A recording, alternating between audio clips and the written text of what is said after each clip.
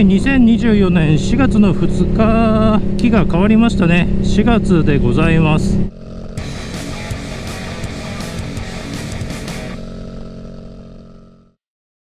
先日ね私インスタでもちょっとね書いたりしてたんですけど古いドラマでですね真珠夫人という、えー、昼ドラがあったんですけどそれにねもうどっぷりハマってたんですよ。昨日それをね全話見終わりましてその感想をねもうちょっと喋っておかなきゃね気が済まないっていう感じで今ちょっとカメラ回してます。このドラマをね見ようと思ったきっかけは、えー、横山めぐみさんが主演だと。もうこれだけでねもう理由は十分ですよね。でこのドラマがね放送されたのは2002年です。20年以上前ですよね。横山めぐみさんが30代前半の頃のドラマですね。で今このドラマを見ようとするとなかなかハードルが高いんですよ。えっ、ー、とネット配信系のサービスでは全てのサービスで配信をやっていないですね。じゃあ TSUTAYA に行ったらあるのかなと思ったら、えっ、ー、と少なくとも私の近隣50キロ圏内の TSUTAYA には、えっ、ー、と全くなかったです。そうなると中古の DVD でも買わないばならんなと思ってたんですけど TSUTAYA ディスカスというサービスがあるんですよね。自宅に DVD が届けられてで見終わったらねそれをね、えーと、郵送で返すんですよ。そうするとまた次の DVD が送られてくるというサービスです。で真珠夫人は、えー、DVD で全9巻になってますね。いよいよディスカスに登録して DVD が届いて見始めたわけなんですがまあねこれがねなまら来てます。当時はねあのドロドロ系の昼ドラというのがね流行ってたということで、まあ、サラリーマンやってる身としてはね昼ドラなんて絶対見れませんからね。横山めぐみさん出てるんだなと思いながらね当時は見れなかったんですけど20年の歳月を経て、えー、今回ね全話体験したということでとにかくねストーリーがねすんごいですよ。うんえーとね、今回の動画はネタバレなしということでね撮ろうと思ってるんで詳しく喋らないんですけどね今本当にね強烈、うん、その一言です。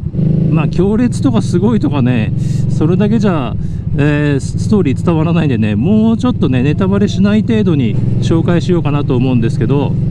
まずね主人公横山めぐみさんはね、えーと、瑠璃子さんという、え、役名でね出てるんですけど家族と言われるあの裕福なね家庭で生まれたお嬢様という設定ですね。その、えー、お嬢様の瑠璃子さんとあとそのね恋人役のね直哉さんっていうのは、えー、造船会社のボンボンですね。この2人の恋の物語です。それだけじゃ全く分かんないんですけど結ばれるんだか結ばれないんだかっていうこうとんでもないストーリーがね続くわけなんですけどまあ要はその2人の愛がですねこう実らないんですよ。こう実りそうで実らなくてねそこにこういろんな障害が生まれるんですね道間違えちゃった喋ってたらこのドラマ真珠夫人なんですが、え、1920年今からなんと100年前に菊池寛という小説家が書いたものです。今も続く文藝春秋の創刊者ですね。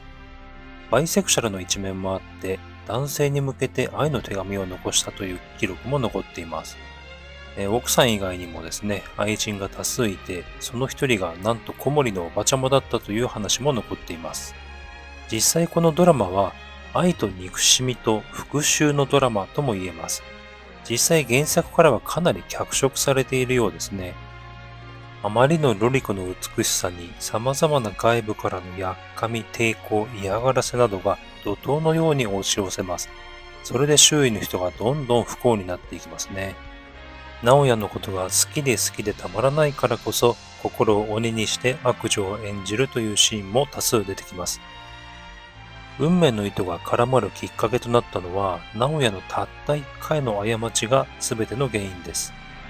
直哉がとある場所である人の悪口を言ってしまうんですが、これを当の本人に聞かれてしまうんですね。これさえなければ二人の運命は狂わなかったんですけどね。さあ、どうですか？皆さん気になってきましたか？ぜひね、ドラマ見てほしいと思います。でこの物語なんですけどね大きく3部作に分かれてますねで3部作の中でもこうハラハラドキドキがねあの強烈に続くのが第1部第2部ですね第3部はねハラハラドキドキというよりはその1部2部のねこう総括というかね今まであったドタバタ劇を経てさあこれからどうするっていうねちょっといろいろ考えさせられる構成になってますね。登場人物としてはねそんなに複雑なあのめちゃくちゃたくさん人が出てくるってわけじゃなくて撮影場所もですね本当に限られた場所スタジオでねポンポンと場面展開するという感じなので何ていうかな昔流行ったアドベンチャーゲーム見てるみたいな感じ、まあ、ルリコの家、えーと、名古屋の会社。あとね、えーと、小料理屋さんとかねルリコが経営するお店とかね、まあ、スタジオの中でストーリーがこう展開していく感じですね。まあ何よりも一番の見どころはやっぱりね横山めぐみさんのね美しさですよ。もうそれだけでもね 十分って感じなんですけどまあでもね横山めぐさんほとんど毎回と言っていいぐらい涙流してますしね。あれはすごい撮影も大変だったんじゃないかなって思います。セリフもね結構多いですしあとねアップのショットがすごい多いんですよ。あとね瑠璃子さんお嬢様という設定ですからね衣装もね目まぐるしく変わります。綺麗なね衣装を見てるだけでもファンとしてはちょっとウキウキなんですけど反対に男性陣が着てるものは、まあ、あのほとんどみんなスーツです。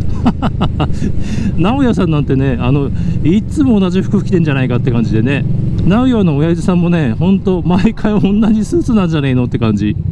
第1部にね登場する、えー、大和田信也さんがね、えー、演じてます正田勝平。このね正田勝平さんがね本当にね腹立たしいんだな。もう見てるだけででもなんまらイライラしてくんだよね。うん。